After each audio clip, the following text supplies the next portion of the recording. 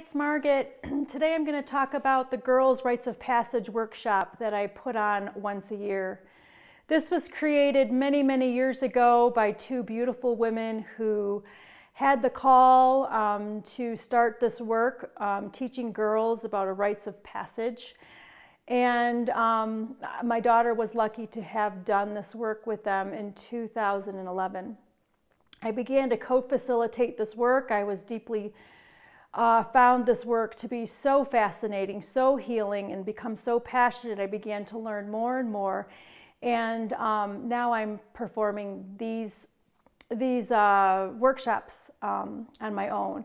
And I will be doing another one in December of 2019 to January 2020. Um, it'll be done in Ann Arbor this year at the Enlightenment Soul Center. Um, and there are one or two spots left, so it's, it's going to be fun. Um, I love holding women in circle, but I also love this work with the girls. It is something that they really just get. Uh, once you put the girls in a circle and they understand that it's safe and it's sacred and uh, they remember, they begin to remember these, these ancient ways of being a woman and they are uh, all that fear just just is gone and they become quite vulnerable and open and it's just beautiful how they just take in these women mystery teachings and when they have their period they are so excited to share this with the world and they want a ceremony so that they can be seen for their beauty and their gifts so this is a part of the workshop that we that I do with the girls. Um, we meet for a couple of times, and a lot of these mysteries about their period and intuition and feelings are are are taught and they're shared. Um, they get to share about how they feel about all of these things because a lot of this stuff is going to be coming up, and a lot of times if they're not held or they're not taught in a beautiful way or they're not taught at all about all of these, these things that are happening to their bodies and to their mind and to their spirit, then they begin to shut it down. Uh, a lot of us lose our intuition at the age around 12 when we're going beginning our period as women. It is a gift. It is a feminine gift of intuition. So we might have seen fairies or danced with them or just saw things or knew things and this get heightened during our puberty time. And if we aren't supported in being held and knowing that this is all normal, then we begin to shut those gifts down.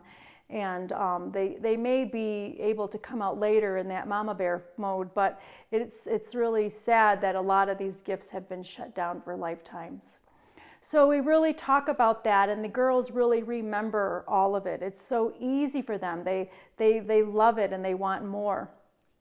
And I also meet with the moms alone because this is a time where a lot of stuff can come up depending on how they were able to transition from girl into womanhood. If it was easy or if it wasn't so easy, a lot of stuff will be coming up. So able to support the moms during this time too. There is a therapist that comes in and talks to the dads, teaches them about how to support their daughter and how important that male role is in his life. Uh, a lot of the dads kind of freak out because they think we're going to talk about, you know, sit in a circle and talk about periods, but it has nothing to do really with periods. It has to do with how to support your daughter. And so that you can take that relationship that you have when they're a little girl and continue to evolve it and grow as she becomes a woman. Because a lot of times the fathers will begin to see her develop and want to push that away and they want her to be that little girl and it's just a really confusing time for for a young one. But if he knows his proper place and his role in that it can it can blossom very very beautifully. And i've seen that with my daughter and with my husband and how beautiful and uh, that has been an opportunity for growth for him and for her um, we also meet with the moms and the daughters and we create this beautiful circle together and where there's a lot of sharing and um, it's just so beautiful to see all different types of women and girls sharing different experiences, sharing um, their gifts and, and what works for them during their period. So, and, and the girls love this. It's, it's very, very rare that girls get to sit in a safe space with other women and to hear stories about menstruation and what it is to be a woman. Um, and they, you can just begin to see them just getting fuller and fuller and fuller. And when it is time for them to get their period, they're really ready. They're really excited to be a woman. And, um, and this is a huge shift from what I remember and what I've seen. But I know that from experience of having a daughter, um, going through that and witnessing all of these young girls going through that, there's really this beautiful blossoming of that young maiden into accepting her womanhood and her beautiful gifts. And then they're craving that safety. They're creating circle. They're creating. They're craving circles and um, an intimacy with each other.